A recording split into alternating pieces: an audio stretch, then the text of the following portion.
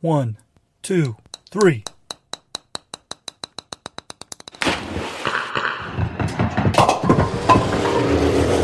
Sportowa energia.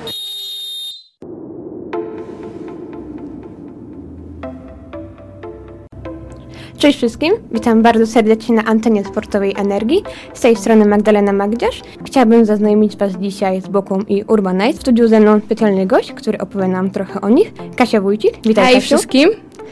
E, Kasia uczęszcza na zajęcia z boku już od ponad dwóch lat, więc może Kasiu wyjaśnisz naszym słuchaczom i zaspokoisz ich ciekawość i opowiesz, co to jest Bokła i Urban Nights i jak wyglądają treningi. Zacznijmy od tego, że oba rodzaje tych zajęć to są zajęcia fitness. E, Bokła jest to połączenie kickboxingu z afrykańskim tańcem wojennym, który wywodzi się z kultury Kwaito, ale spokojnie, na zajęciach nie mamy spódniczek z trawy i nie tańczymy z dzidami. E, Zajęcia przebiegają w taki sposób, że do najnowszych hitów, które są najbardziej popularne, uczymy się sekwencji kroków. Na sekwencję tych kroków składają się e, znaki, cyfry albo też e, litery.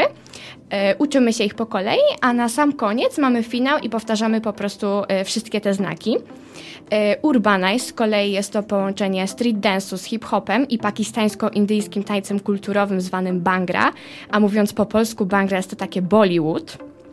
E, Na tych zajęciach uczymy się czterech krótszych choreografii, a na sam koniec mamy znów finał i wtedy powtarzamy wszystkie cztery choreografie już tak razem do jakiejś danej piosenki. E, Wiem, że trenujesz już od ponad dwóch lat, więc jakie zauważyłeś korzyści fizyczne u siebie oraz inne zalety, jak na przykład odreagowanie stresu, negatywnych emocji tak itd.? E, Tak, przede wszystkim e, te zajęcia dla mnie są takim niesamowitym oderwaniem się od rzeczywistości. Kiedy wracam ze szkoły albo mam jakiś problem i jestem taka, powiedzmy sobie szczerze, już zmęczona tym życiem, idąc na te zajęcia, czuję się zupełnie jak nowonarodzona. Ta energia, która się wyzwala podczas tych zajęć jest tak naprawdę nie do, opisa- nie do opisania. E, Co więcej, te zajęcia e, poprawiają sprawność fizyczną, poprawiają również e, koncentrację, bo czasami choreografie z boku są dość skomplikowane i ilość tych znaków jest naprawdę duża i trzeba się mocno skupić. Jednak nie brakuje przy tym dobrej zabawy. Przede wszystkim też e, daje mi to e, nowe znajomości, bo e, ludzie tam są naprawdę bardzo otwarci i bardzo sympatyczni, pomimo tego, że jestem tam najmłodsza. E, co więcej, sam instruktor jest naprawdę niesamowitym człowiekiem e, i teraz mam z nim bardzo dobre kontakty i on też wprowadza niesamowitą atmosferę na te zajęcia, przez co nikt nie czuje stresu i wszyscy dobrze się bawią. Nawet jeżeli e, ktoś się pomyli, to nie ma tam większej spiny czy czegoś takiego, po prostu wtedy wszyscy się śmieją.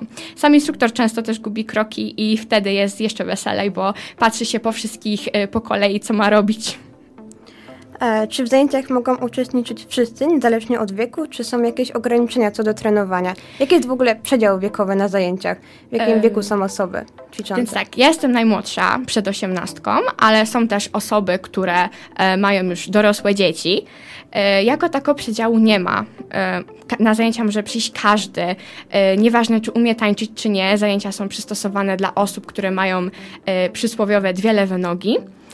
E, Co więcej, e, zajęcia są do tego, żeby się dobrze bawić i jedynym ograniczeniem to jest tylko tak naprawdę my sami i nasze lenistwo, bo tylko ono może nas zdemotywować do tego, czy iść na zajęcia, czy nie.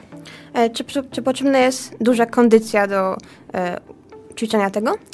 E, Pierwsze zajęcia mogą wydawać się męczące e, i po pierwszych zajęciach ogólnie możemy dojść, no, e, znaczy paść, ale nie możemy się poddawać po pierwszych zajęciach, bo wiadomo, nikt nie jest idealny.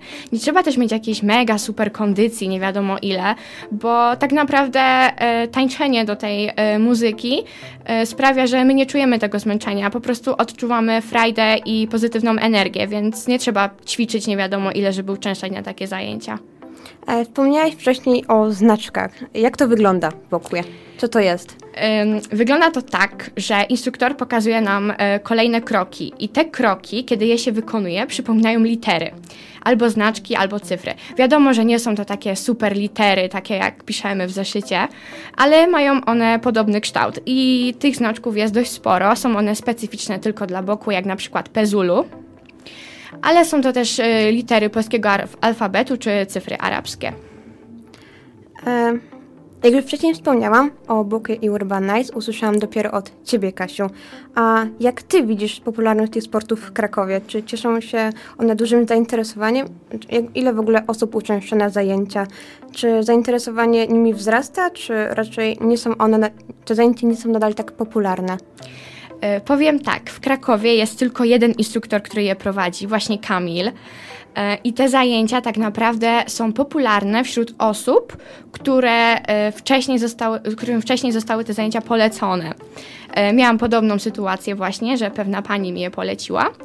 E, i tak trafiłam na zajęcia i mi się spodobały. I teraz też tak jest, że poleca się po prostu te zajęcia innym osobom. Część osób e, po prostu boi się przyjść na zajęcia, bo boją się, że sobie nie poradzą, albo też e, problemem może być dla nich to, że zajęcia są prowadzone przez mężczyznę, co jest dość nietypowe, bo przyzwyczaili się już, że większość zajęć prowadzą właśnie kobiety. Ale to mi nie sprawia już większego problemu. E, co więcej, no, nie trzeba mieć jakichś takich ograniczeń. W Krakowie te zajęcia też nie są jeszcze jakoś tak super popularne i stała grupa to jest tak 10 osób. Na zajęciach one chodzą zawsze. E, I czasami przychodzi więcej osób, czasami przychodzi mniej osób. Część osób, jak przyjdzie, to już zostaje, a część osób, no niestety przyjdzie, ale następnym razem już nie przyjdzie, bo stwierdzi, że jej nie wychodzi, albo że się męczy, albo że tego w ogóle nie rozumie. No niestety, poddają się zbyt szybko. Um, jak w, ogóle, jak w ogóle zaczęła się Twoja przygoda z trenowaniem boku i Urbanite? Jak się dowiedziałaś o tych zajęciach? E, moja przygoda z bokłą zaczęła się naprawdę czystym przypadkiem. Zaczęło się od tego, że po takich e, pewnych wydarzeniach chciałam znaleźć takie e, odreagowanie od rzeczywistości i chodziłam na zumbę. E, chodziłam na zumbę do wielu różnych klubów i trafiłam do klubu fitness na osiedlu Niepodległości. Tam po zajęciach zumby podeszła do mnie Ela i zaproponowała mi właśnie bokłę. E, pierwsza moja reakcja była w ogóle, e, co to jest, pierwszy raz słyszę taką nazwę, o co w tym chodzi. Ela wyjaśniła mi, że właśnie to wygląda tak, że na zajęciach robi się różne znaki, cyfry, litery, no że jest ogólnie super fajnie. No i powiedziała mi, że zajęcia prowadzi pan. A ja tak sobie myślę, no kurczę, pan prowadzi te zajęcia, to tak trochę nie bardzo do pana, tak mi trochę głupio było. Ale w końcu stwierdziłam, dobra, pójdę, co mi tam. Pierwsze zajęcia bokły miałam 2 maja. Poszłam trochę zestresowana na nie, bo nie wiedziałam w ogóle, jak to będzie wyglądać, czy ja sobie na tym poradzę. No i przywitał mnie Kamil, powiedział, że witam i żeby się niczym nie przejmować. No i tak zaczęły się te zajęcia. E, kiedy one się skończyły, to ja poczułam, że to jest naprawdę coś, co ja chcę robić, coś, coś niesamowitego. To nie jest to samo co Zumba, bo tam było zupełnie, zupełnie inaczej. E, było bardziej dynamicznie i po wyjściu z tego, mimo iż to był mój pierwszy raz, nie czułam się w ogóle zmęczona. Czułam się e, wspaniale. I tak właśnie zaczęłam chodzić na zajęcia bokły. O Urbanize z kolei dowiedziałam się przez Kamila, zrobił on e, kurs instruktorski i pokazał nam jedną choreografię właśnie na e, bokwie. No i to też mi się spodobało. No i kiedy jeszcze nie prowadził tych zajęć, to starałam się jakoś znaleźć jakąś alternatywę do tego Urbanize i szukałam piosenek z samych zajęć. No ale ostatecznie Kamil zaczął prowadzić właśnie Urbanize i tak zaczęłam chodzić i na bokłę i na Urbanize. Kasiu, przed przerwą muzyczną powiedziałaś, e, gdzie można trenować Bokeh i Urbanize, a ile kosztuje przykładowo miesiąc takich zajęć, ile wynosi karnet? E, to zależy w sumie od e, klubu fitness. Ja mam kartę multisporta, więc za bardzo też nie orientuję się w cenach takich karnetów. W każdym razie na Comcomzonie często są jakieś promocje i dla nowych klientów karnet jest 20% taniej bodajże. Dodatkowo uczniowie i studenci też mają ten karnet taniej. Jedna godzina zajęć kosztuje 18 zł ulgowa i 20 zł jest normalny wstęp. Wiadomo, można sobie kupić karnet na e, same cztery wejścia i to jest chyba 60 mm, zł, ale nie jestem pewna. E, albo karnet Open i wtedy możemy wchodzić na wszystkie zajęcia, jakie oferuje nam ComComZone e, oraz możemy iść na siłownię i taki karnet ostatnio kosztował chyba 160 zł. Mm, teraz takie pytanie trochę bardziej historyczne. Jaka jest w ogóle historia Boku i Urban Night? Kto ją wymyślił? Kiedy? E, kiedy dokładnie wymyślili, to tego e, nie pamiętam. E, w każdym razie Bokłę wymyślił pan, który jest bodajże Francuzem, ale też nie jestem pewna tego. W każdym razie jego przygoda zaczęła się od tego, że chciał stworzyć coś takiego zupełnie innego, coś, co będzie nietypowe. E, obserwował właśnie te starodawne takie tańce plemienne, między innymi tej kultury Kwaito i tak zaczął e, tworzyć e, bokłę, bo na zajęciach tych ogólnie z bokły jest dużo ciosów i krzyku, dlatego to właśnie się tak kojarzy z takim afrykańskim tańcem. Z kolei Urbanize zostało wymyślone przez Denisa i Tinę Thompson. Oni są z Danii. E, I oni na początku zajmowali się e, samą bangrą, tańczyli ją e, na weselach. I można sobie na YouTubie zobaczyć filmiki właśnie, jak wygląda masala bangra w ich wykonaniu. I potem do tej bangry zaczęli dodawać elementy ze street dance'u i hip-hopu i tak powstało Urbanize. I geneza nazwy Urbanize to właśnie jest urban, e, słowo jest od miejskiego, tam jest BHA i to jest od bangry, a końcówka to są te wszystkie inne ruchy, które tam wykonujemy i one są, nie pochodzą ani w sumie od bangry, ani od street dance'u. Mm, Wracając teraz trochę do Kamila. Skąd u niego wzięło się zamiłowanie do boku i Urban Night? I czy możesz trochę bardziej rozwinąć swoje, re, e, opowiedzieć bardziej re, swoje relacje z nim? Em, więc tak, zaczęło się w sumie od tego, że ja byłam dość taka nieśmiała w stosunku do Kamila. No wiadomo, jest ode mnie starszy i było mi tak z początku głupio do niego w ogóle mówić na ty. E, ale ostatecznie się to zmieniło i teraz jesteśmy już normalnie po imieniu, tacy koledzy. E, chodzimy razem, chodziliśmy nawet razem na lody w wakacje. E, także jest fajnie. U niego ta pasja zaczęła się od zumby. Początkowo on prowadził zajęcia z zumby. E, I tak zaczął rozwijać swoją pasję. Po zumbie e, trafił na zajęcia z sexy dance'u, bo było zastępstwo. E, I w trakcie tego sexy dance'u instruktorka powiedziała mu właśnie, że zaprasza go na zajęcia z bokły, które mają być pierwszy raz prowadzone w studiu fitness. No i on poszedł na te zajęcia mm, z boku. W sumie był taki przerażony z początku, bo nie wiedział w ogóle, co go tam czeka. No i e, poszedł na tą bokłę, no i to mu się spodobało. E, co najśmieszniejsze, pani prowadząca podeszła z niego z pytaniem, gdzie ty prowadzisz zajęcia, że tak ci świetnie idzie?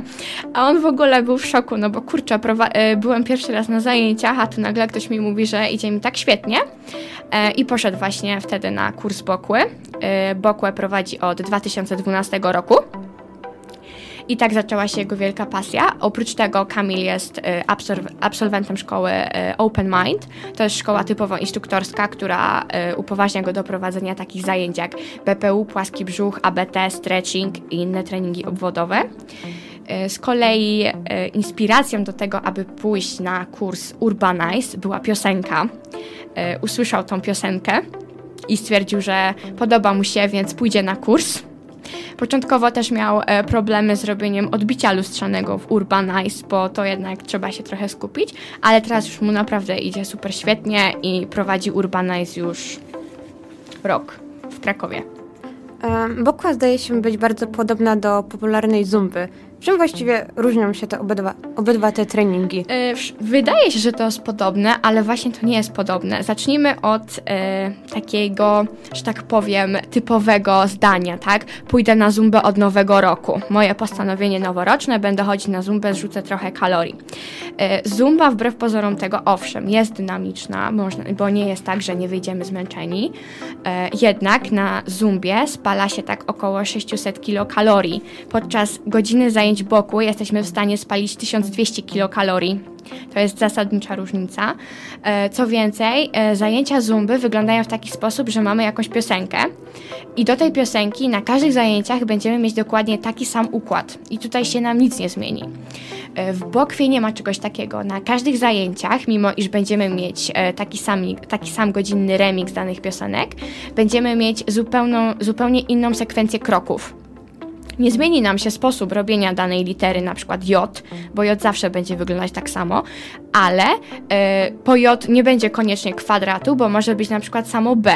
Już jest coś innego, więc nie ma sensu po prostu uczyć się układów z boku na pamięć, bo za każdym razem i tak będzie coś innego. A na Zumbie raz się po prostu nauczymy danego układu i on już się będzie powtarzał. Dodatkowo jeszcze e, w bokwie mamy coś takiego jak symetrię. Robimy coś na prawo i potem robimy coś na lewo. W bokwie czegoś takiego nie ma. Robimy wszystko od prawej nogi, no chyba, że idziemy w lewo, to wtedy robimy coś od lewej nogi. Mm, właśnie, muzyka. Do jakich piosenek tańczycie? Czy są to jakieś popularne hity, czy raczej taka mm, mało znana muzyka? Tak powiem, to w sumie zależy od Kamila i co on tam wymyśli. Bo mm, miksów on ma naprawdę mnóstwo. E, czasami mamy zajęcia w stylu e, lat e, 60., 90. i wtedy wiadomo, Makarena i wszystkie inne takie hity. Czasami mamy e, układy do e, najnowszych kawałków, które często słyszycie w radiu, jak nie wiem, e, Ed Sheeran czy Justin Bieber i to wszystko jest i naprawdę fajnie brzmi. A czasami w ogóle mamy zupełnie zmysłowe zajęcia i wtedy mamy to wtedy wykonujemy te ruchy do typowo latynoskich rytmów. E, także mówię, to wszystko zależy od tego, jak wygląda bokła. Z kolei e, urbanize. Urbanize można tak naprawdę wykonywać do każdej muzyki. Wiadomo, że niektóre kawałki są takie typowo bollywoodzkie, Wtedy jest układ naprawdę bardzo bollywoodzki. Wtedy czujemy się jak w jednym z tych filmów, które często lecą. Ale często mamy też e, normalne piosenki, tylko one są po prostu odpowiednio zrobione tak, żebyśmy zdążyli się nauczyć całej choreografii. E, taką dość popularną piosenką, która nie jest w ogóle bollywoodzka, a jest do niej urbanize, jest e, piosenka z Szybkich i Wściekłych Ashera Je, taki tytuł. E, I do tego jest naprawdę sympatyczny układ i on wcale nie jest jakoś super bollywoodzki, bardziej taki hip-hopowy. Mm, A strój? Czy macie jakieś specjalnie, specjalne stroje, czy raczej każdy może przyjść w tym, czemu jest po prostu wygodnie? Dokładnie, każdemu ma być przede wszystkim wygodnie, nie ma tam jakiejś rewi mody, nie wiadomo jak musimy super wyglądać, żeby się komuś przypodobać. Ma nam być po prostu wygodnie. E, najważniejszą rolę tak naprawdę odgrywają buty. E, Buty są najważniejsze, bo buty powinny być dostosowane albo do zajęć fitness, albo powinny być to buty do biegania. Nie mogą być to takie zwykłe tenisóweczki, no niestety nie wytrzymamy tego, bo jednak e, nacisk e, na wszystkie te mm, ścięgna i kości jest dość mocny i można się nabawić poważnych kontuzji. Raz jedna pani e, robiła w sumie zajęcia boso, bo zapomniała sobie wziąć butów. E, nie wiem jak to się skończyło, ale e, Kamil się trochę obawiał, że jednak może jej się coś stać i nie był zbyt skłonny do tego, aby ona jednak bez tych butów ćwiczyła. E, No jeśli chodzi o buty, to akurat, akurat masz całkiem spory wybór. Masz ponad Dokładnie. 40 par butów. E, e, Wiem, że w zeszłym, tygod- w zeszłym roku był organizowany przez Kamila e, wyjazd mikołajkowy. Jak wtedy było? Czy możesz opowiedzieć coś więcej o tym? I czy są w ogóle organizowane jeszcze jakieś inne formy zajęć? E, więc tak, zacznijmy od tego, że na tym wyjeździe mnie w ogóle nie powinno być. Skręciłam sobie kostkę 5 listopada e, i miałam zwolnienie od lekarza na dwa tygodnie. Ale stwierdziłam, że skoro to jest wyjazd i tam będzie Bokła i tam będzie Urbanize, to nie ma opcji, ja muszę jechać, bo dla mnie stało się to jak uzależnienie. E, dla mnie tak naprawdę tydzień bez Bokły jest tygodniem straconym. E, Ostatecznie pojechałam na ten wyjazd. E, Co prawda powinnam się oszczędzać, no ale ja to ja, e, więc nie oszczędzałam się prawie w ogóle. Trzeciego dnia nie mogłam chodzić w sumie zbytnio, ale teraz już chodzę dobrze i nadal chodzę na zajęcia, nic mi się nie stało, więc okej. E, Zaczęło się od tego, że nie miałam początkowo w ogóle transportu na wyjazd. Kamil do mnie zadzwonił i pierw miałam jechać z jedną koleżanką jego, potem miałam jechać z kimś innym, a potem ostatecznie pojechałam z taką Olą. E, Wyjazd e, był od 2 do 4 grudnia, e, no i 2 grudnia rozpoczęliśmy swoją przygodę. Spakowana z całą ilością adidasów i koszulek sportowych na przebranie, doszłam na miejsce zbiórki. No i czekałam, aż pozostali uczestnicy się e, też e, zbiorą. No i ruszyliśmy. No i na sam milutki początek, oczywiście korek, wielki korek, jeszcze zaczął padać śnieg, drogi były strasznie, strasznie śliskie. E, Ola się bała jechać, bo droga była taka dość stroma, a jeszcze ślisko, tiry jechały, także zaczęło się nieźle. Dojechaliśmy na miejsce jako e, ostatnie, bo GPS pomylił drogę i zamiast zaprowadzić nas e, do ośrodków, czyli do tych domków, w których mieliśmy spać, to zaprowadził nas pod klub nocny na takiej samej ulicy. Także zaczęło się ciekawie. Kiedy przyjechaliśmy na miejsce, to zjedliśmy e, już taką dość późną trochę kolację. E, No i potem było chwilę, żeby się rozlokować w domku, no i następnie rozpoczęły się pierwsze godziny zajęć. W pierwszy dzień były tylko 3 godziny zajęć, bo przyjechaliśmy tak już dość późno. E, No i oczywiście była zumba, bokła i e, urbanize. Następnego dnia o godzinie 6 dla chętnych i pełnych pasji odbywał się jogging. Kto chciał, mógł iść, kto nie, nie musiał, mógł sobie pospać. Po joggingu było śniadanie, po śniadaniu była chwila przerwy, no i rozpoczęły się zajęcia. Znowu były 3 godziny zajęć, była zumba. Zumba odbywała się w bollywoodzkim rytmie. Mieliśmy takie. Mm, typowe, nie wiem jak to nazwać, takie spódniczki, które przy ruchu biodrach wydają charakterystyczny dźwięk. E, potem była bokła i potem było właśnie urbanize. Potem była chwila przerwy, wiadomo, żeby się przebrać, wykąpać e, i był obiad. Obiad był naprawdę dobry.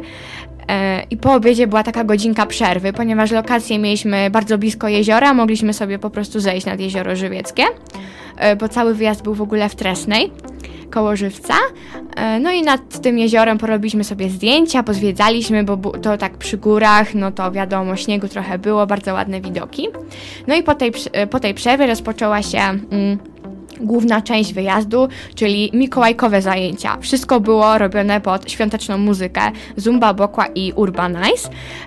Zumba była taka dość do takich najbardziej znanych e, świątecznych hitów, ale też były inne, tylko wszyscy byli wiadomo przebrani za Mikołajki, czy mieli jakieś tam różne inne świąteczne gadżety. E, potem była Bokła i podczas tej Bokły w sumie e, nieźle się działo, bo Kamil zrobił Bokłę tak naprawdę w każdą stronę świata. E, z każdym e, końcówką finału robiliśmy wszystko w drugą stronę i z początkowych bodajże 30 osób e, na ostatnie minuty zajęć zostało może 5, bo reszta albo się zgubiła, albo już była tak totalnie, totalnie zmęczona. E, Potem mieliśmy chwilę Urbanize, bo czas nas już trochę gonił. E, No i po Urbanize był moment na świąteczne zdjęcia z Kamilem, który był przebrany za Mikołaja, ale ponieważ Kamil w ogóle Mikołaja nie przypomina, to trochę ubranko było na niego za duże, ale i tak wyglądał e, uroczo. E, I po tym właśnie dostaliśmy takie paczki, e, trochę tak paradoksalnie, bo dostaliśmy słodycze, no ale było miło. Mm. I potem znowu była przerwa, zjedliśmy kolację. E, I po tej kolacji mogliśmy się przygotować na ognisko. E, Wiadomo, na ognisku były kiełbaski, wszystko było fajnie, ośrodek nam wszystko przygotował i po ognisku była dyskoteka. W sumie nikt nie przewidywał tej dyskoteki, każdy na tej dyskotece był tak naprawdę w dresie, bo nic innego nie wziął, nie przygotowali się, że będzie jakaś wielka dyskoteka, nikt nie wziął sukienek obcasów, wszyscy przyszli tak o, na sportowo. Em, w sumie to było śmieszne e, być na dyskotece z dwójką instruktorów, bo to był taki pojedynek trochę bokła e, kontra zumba. E, Z instruktorami na dyskotece jest ogólnie fajnie, bo oni naprawdę mają ten swój taki dryg do ruszania się, a tutaj zwy, zwykłe szaraczki to tak nie za bardzo, ale to nie, nie sprawiło problemu, wszyscy bawili się super świetnie i naprawdę bardzo dobrze wspominam tą dyskotekę. E, No i po dyskotece poszliśmy spać, no i niestety zbliżył się ostatni dzień, czyli e, dzień wyjazdu. Oczywiście po dyskotece Zumba się nie odbyła, bo już niektórzy nie mogli, ale Bokła i Urbanize się odbyły. E, Bokła również była świąteczna. Mm. Urbanize też było świąteczne. Oczywiście wszystko poszło na Facebooka, żeby ludzie oglądali, jacy to jesteśmy super. E, No i potem mieliśmy obiad.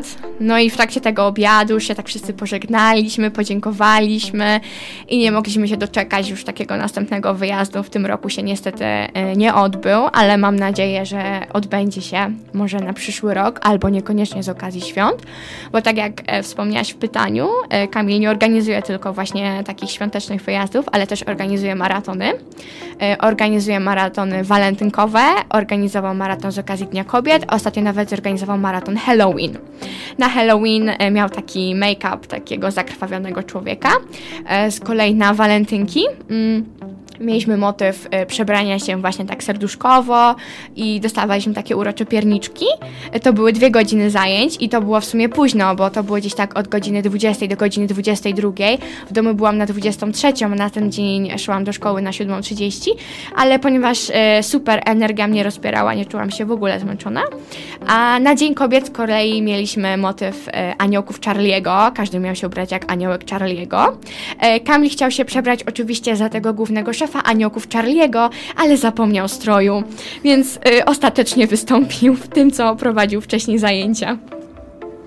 Mm, Wspomniałaś wcześniej o tym, że byłaś z Kamilem wakacje na lodach, czyli więc trenujesz również wakacje, tak? E, tak, praktycznie całe wakacje e, spędziłam na Komkomzonie. E, jednego dnia poszłam nawet na 3 godziny zajęć i to w sumie nie były zajęcia taneczne. E, było to e, płaski brzuch, potem było mega spalanie i potem było BPU.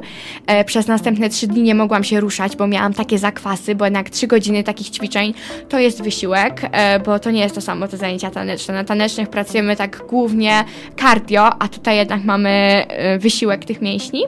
Mimo to e, nie powstrzymało mnie to przed pójściem na kolejne zajęcia w czwartek. A w roku szkolnym jak to wygląda? Ile, ile razy w tygodniu trenujesz? E, W roku szkolnym jest e, naprawdę ciężko pogodzić to wszystko. E, Zdarzają się luźniejsze dni, na przykład z czwartku na piątek i wtedy w czwartek sobie mogę iść na zajęcia. We wtorki kończę strasznie późno, więc nie mogę. Co więcej, niektórzy nauczyciele są bardzo wymagający. Pani polonistka czasami potrafi zadać tyle zadania, że nie można się odgrzebać i ciężko jest. Natomiast zawsze chodzę na zajęcia w piątki i to jest takie moje idealne za- rozpoczęcie weekendu. E, Idę sobie na takie zajęcia, co prawda jest późno, bo one są o 19.30. Jestem w domu przeważnie na 21.00, ale jest naprawdę mega, mega niesamowite. A teraz chciałabym Cię zapytać o to, ile choreogra- choreografii już w sumie umiesz po dwóch latach treningów? E, Oś Urbana jest to całkiem sporo choreografii, na pewno z 15 ich będzie. Na każdych zajęciach e, często mamy jakąś nową choreografię.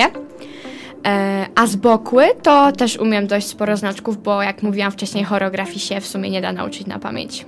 No właśnie, wspom- wspominasz o tych znaczkach. E, ile znaczków już umiesz i literek? E, Jakbyś mogła wymienić? E, Ze znaczków to umiem wcześniej wspomniany kwadrat. E, Z cyfr to umiem zrobić jedynkę, to jest w ogóle podstawowy krok, 1-1. Na pierwszych zajęciach na pewno będzie 1-1. Następnie umiem zrobić e, dwójkę, umiem zrobić czwórkę, umiem zrobić e, piątkę i umiem zrobić szóstkę. Jeżeli chodzi o litery, to jest to B, C, E, F, G, H, J, K, L. Jest również O, jest P. No i jeszcze jest e, znaczek taki e, typowo dla bokły, który nazywa się e, Waka Waka i to już wygląda trochę tak jakbyśmy e, jechali na koniu, ale jednocześnie kręcimy biodrami. No i jeszcze jest e, Pezulu. Mm, Co to jest pezulu, tak właściwie? E, Pezulu to jest e, taki ruch, który w języku Kwaj to znaczy do gwiazd i wygląda to tak, że stajemy e, w rozkroku, następnie robimy e, cztery razy obrót biodrami, potem robimy dwa ciosy na bok, a następnie robimy cztery ciosy e, takie e, albo z kolana, albo z wyprostowanej nogi. Mm, Co właściwie ciągnie Cię do dalszego trenowania? Atmosfera zajęć, energia, którą wkładasz robienie tego, e, to jaką dają Ci one satysfakcję, radość? E, Tak naprawdę do e, kontynuowania tych zajęć ciągnie mnie wszystko, zaczynając od tego, że ta muzyka jest niesamowita. E, Ta muzyka bardzo mi się podoba. Gdyby ona była jakaś taka inna, nie byłaby taka szybka, to myślę, że te zajęcia e, nie przypadłyby mi do gustu. E, Atmosfera na zajęciach jest również fajna poprzez ludzi, którzy tam chodzą. Pomimo tego, że różnice wieku są naprawdę ogromne, to nie ma tam takiej presji, że mam do kogoś mówić per pan, per pani. Nie, jesteśmy wszyscy na ty, rozmawiamy o normalnych, codziennych sprawach. Ja rozmawiam o szkole, panie rozmawiają tam sobie o e, swoim życiu, o pracy. Oprócz tego Kamil wprowadza naprawdę niesamowitą atmosferę. E, Często śpiewa te wszystkie piosenki, które tam lecą, mimo iż czasami one są naprawdę niezrozumiałe, bo niektóre są w języku hindi, ale Kamil tam e, po swojemu wprowadza te wszystkie słowa. I też takie motywujące dla mnie do em, uczęszczania na te zajęcia jest fakt, że dodają mi one pewności siebie. E, i to naprawdę zauważyłam, bo prawdopodobnie rok temu e, albo nawet pół roku temu e, nie wyszłabym na środek sali u nas w szkole podczas meczu, na, który, na który przybyli Wiślacy i nie zatańczyłabym, o czym sama wiesz, bo tańczyłaś razem ze mną. Pozdrawiam teraz naszą całą grupę taneczną z drugiej A. E, właśnie. E, co nieco wiem o tym, że swoją przyszłość i to, co zamierzasz robić w życiu, wiążesz właśnie z Bokum i z Urbanize. Jak więc zamierzasz do tego dojść e, i co dokładnie chciałabyś robić? Pora teraz na taką małą autoreklamę dla ciebie. E, Posłużę się tak, jak to zrobiłam rok temu na projekcie na podstawie przedsiębiorczości. E, Zacznę od tego, że jestem osobą taką dość dynamiczną. E, Ja nie potrafię usiedzieć w miejscu, naprawdę. Dla mnie siedzenie na lekcji to momentami jest katorga, zwłaszcza jeżeli ta lekcja jest nudna. Nie mogę się ruszyć na chwilę i cały czas po prostu po głowie chodzą mi te wszystkie literki e, albo e, muzyka z zajęć. Co więcej, ja mam taki dość charakter, który e, lubi po prostu wydawać polecenia i lubi, że tak powiem, rządzić innymi. I kocham pracę z muzyką, dlatego e, chcę zostać instruktorem fitness, ponieważ mogę to wszystko połączyć, tak? Mamy pracę z muzyką, co więcej, wydaję te polecenia. I wydaje je w taki przyjemny sposób, a nie, że wydaje polecenia jak jakiś zły dyktator, który chce zawładnąć e, po prostu ludźmi. E, swoje takie, swoją drogę do kariery pragnę zacząć od zrobienia kursu Bokły, który jest w kwietniu i się na niego wybieram do Grodziska Mazowieckiego. E, jeżeli nie uda mi się w kwietniu, no to w czerwcu jest następny. I wtedy będę mogła zacząć prowadzić zajęcia z Bokły, takie podstawowe. Tam jest podstawowa sekwencja tych znaków. E, Potem zamierzam zrobić e, kurs e, Urbanize. E, Po Urbanize planuję też iść do szkoły Open Mind, żebym mogła prowadzić nie tylko e, dwa rodzaje tych zajęć, ale żebym mogła też prowadzić właśnie e, płaski brzuch, stretching, BPU i inne takie. Oprócz tego chcę zrobić kurs zumby. Mimo tego, iż wolę bokła od zumby, bo zumba dla mnie jest po prostu zbyt nudna, to jednak mam takie marzenie i taki swój cel, że mogłabym po prostu wprowadzać różnorodność do tych zajęć zumby. Może mi się to uda. Oprócz tego chcę sobie jeszcze zrobić e, kurs e, reggaetonu, bo bardzo bym chciała. E, jeśli mogę zapytać, co to jest? E, reggaeton to jest e, połączenie takiej troszkę, lat, do, na pewno jest to latynoska muzyka, ale jest tam też trochę odrobina reggae i te zajęcia polegają na e, ruszaniu tak każdą częścią ciała osobno. Tam jest, e, trzeba mieć naprawdę bardzo mocne mięśnie brzucha i e, tam jest też dużo twerkowania. E, Więc to jest takie e, bardzo rytmiczne. E, I chciałabym właśnie mm, rozpocząć e, ten kurs, dlatego że w Krakowie można uczęszczać, e, głównie na e, zajęcia, ale tylko w formie zaawansowanej. Nie ma takich zajęć od podstaw i dla mnie to jest takie trochę przykre, bo chętnie bym sobie poszła na takie zajęcia. No ale niestety, cóż. No i tak, oprócz instruktora fitness to w sumie chciałam iść na turystykę i rekreację. I żeby być przewodnikiem, bo z samej jednak pensji instruktorskiej to tak się nie da wyżyć, biorąc pod uwagę fakt, iż zajęcia głównie odbywają się po południu. No bo rano wiadomo, ludzie pracują, młodzież chodzi do szkoły i tak dalej, no więc też nie ma za dużo e, czasu, jak to przejść. E, I wiem, że AWF mm, oferuje mi takie, że tak powiem, licencje na instruktora fitness, e, jednakże e, wolę iść do Open Mind, e, bo tak naprawdę mogę to zrobić szybciej i mam, że tak powiem, większą, większą e, bazę tych zajęć do prowadzenia. E, cóż, więc życzę Ci powodzenia, Kasiu, abyś doszła do tego, co chcesz zrobić w przyszłości i mam nadzieję, że parę lat, że za parę lat będę mogła przeprowadzić wywiad już z instruktorem Kasią. Była z Wami Magdalena Magdzierz oraz Kasia Wójt. Do usłyszenia i cześć, miłego tygodnia.